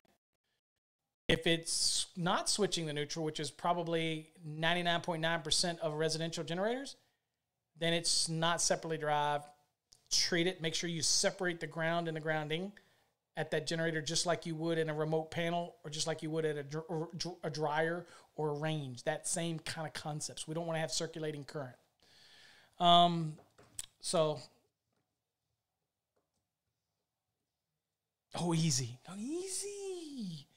What did he say? Hold on. He said, easy, Paul. Chill, man. We're just having a conversation. it's all good, Caleb. I don't get that worked up. I just want to make sure that everybody's, you know, everybody's all right. I said that, Danny. Um, all right, so I don't have. Oh, any incidentally, um, the the the, the next round of um, stickers, I still got stickers. Uh, they're going out. So you want some more stickers? Just holla tell your tell your people that you work with stickers but you got to let me know what you want you got to send me an email Okay, I need an email sent. And the email is info, I-N-F-O, at master the NEC, kind of like you see the master ticking across the top, uh, dot com. And just give me your name and your address and tell me which stickers you want. You're always going to get the podcast one. But if you want just a generic electrician, if you want the master electrician, you want the journeyman electrician, you want the code mafia, or you want the, the kind of one of my favorites is this one, is the electrical wizardry. I think that's pretty wicked. Um, and of course, we have our podcast one while supplies last. And then we'll move on to something else. Um, for those hopefully don't get offended, the the the God uh, family and code one will be in the next batch. So we will have those for those that would want want the, that one. And I'll have a couple other hopefully by then I'll have some couple other designs that we've been working on. Should be interesting. Um, I do want to come up with an with an ohms wheel, uh, formula wheel, with with our logos in the middle of it. I think that'll pretty pretty neat. Um, also should mention. Oh, let me grab it. For those that want the real big ones are the real nice, and this one's available in all the options. Even the one with the God, the family, and code is the big ones. Now, these big ones are high definition. I mean, these are well done. This is a real premium sticker. They're not overly expensive. I think I can't remember it's seven ninety nine, but that's a big sticker. Goes on your box. We have these available in the master, the journeyman, the electrician. The, we even have these available for inspectors um, and engineers um, over on our website, electricianpride.com. So these are the real nice ones. Uh, so there you go. Um, people want those. I can't give those away. they can't give those away. But if you want them, go get them. Um, so let's see here. Um, all right. Well, I don't have anything else to say tonight. We did about two hours. Uh, if you got anything anybody wants to ask about the program, let me know. Um, and I'm more than happy. Okay. And I'm more than, uh, you like the big one? Yeah, these big ones, these big ones are pretty, these big ones are pretty nice. I will admit they did a good, they do a good job. The company that does these for us online, uh, do a good job on that. Okay. Oh, you mean, you mean the, the, the the ones where they, they stick out. Um, I don't know if they offer those um, through through who I use to make those the, the static cling ones, that type of thing. Um, I'll be honest with you. At my office, I have one on my window so that everybody in the hall sees it, but I taped it up there. I just put tape on it. Um, that type of that type of thing. Um, but no, I'll see if they have it. I don't know if they have that, but uh, We'll see. I'll look into it. Yes, it would be. It would be cool to put that big one on the side of your van. I have them on. Actually, I have the big one on the back of my truck, and I have the big one, and I have the little one up in the mirror in the window. So in my truck window behind me, I, I, I have it on the outside.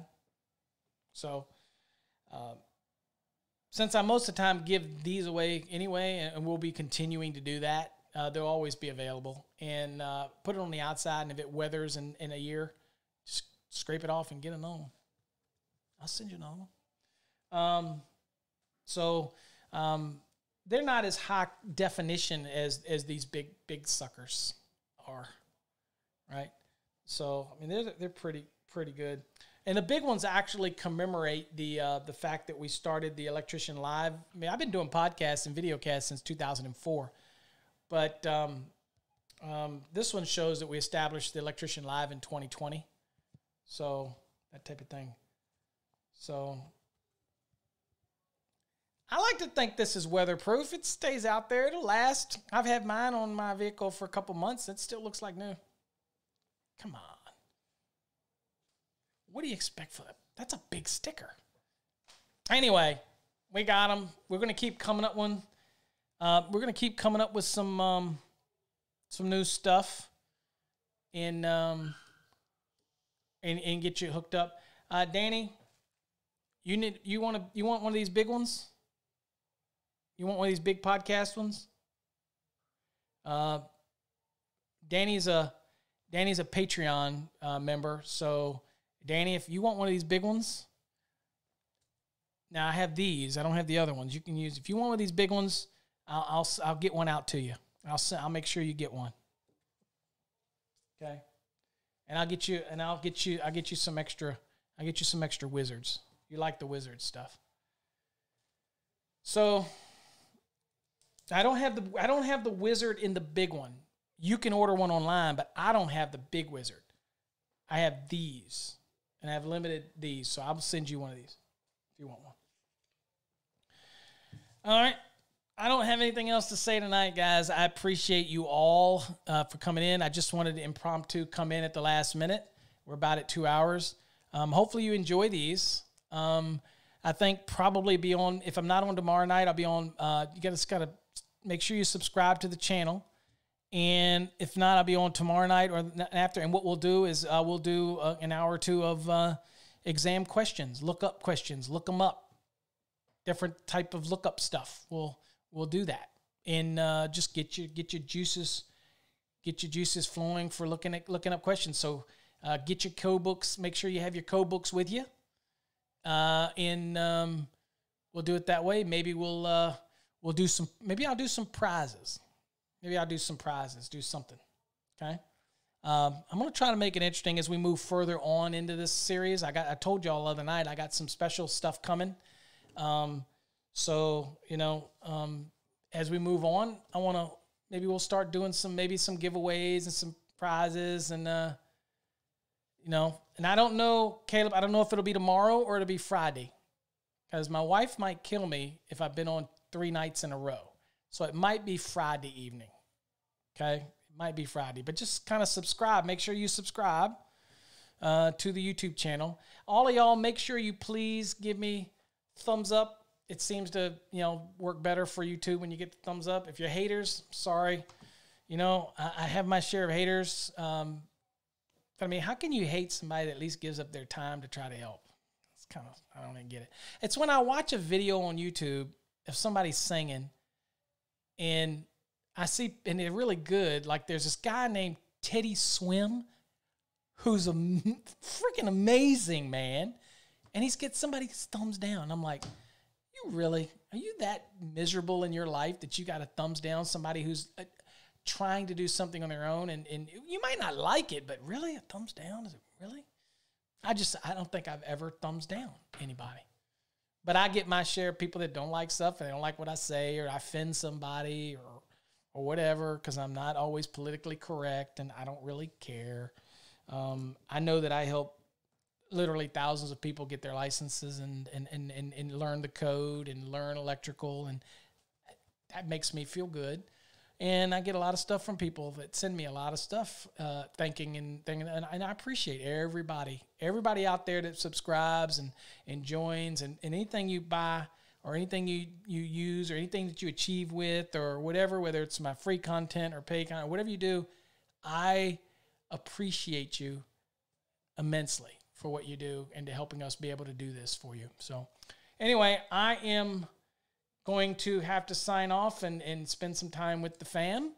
But I appreciate every one of you. And, and, and, and make sure you subscribe, thumbs up, share these with your friends at work, share those with other people, um, you know, that type of thing.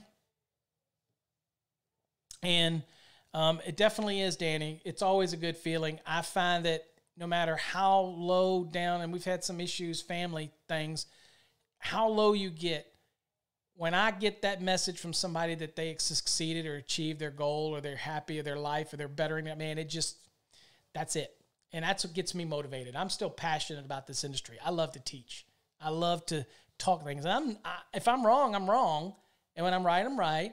And if I can learn and you can learn and we can learn together, that's what it's all about. So that's what I'm here for. So hopefully y'all enjoy it. Share it with your friends. Till next time, folks. Stay safe. I appreciate y'all.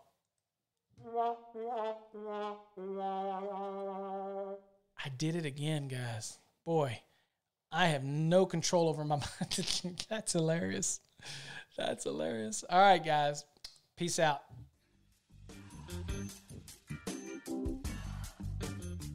You've been listening to Electrician Live with your host, Paul Abernathy.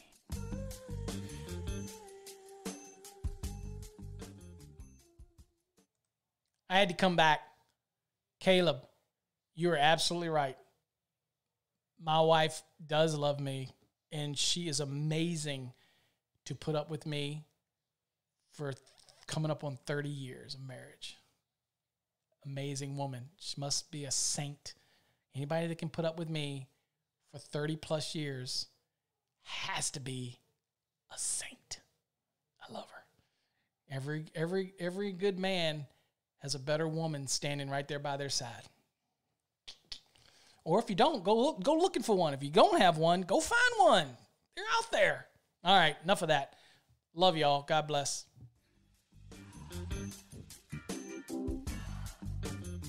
You've been listening to Electrician Live with your host, Paul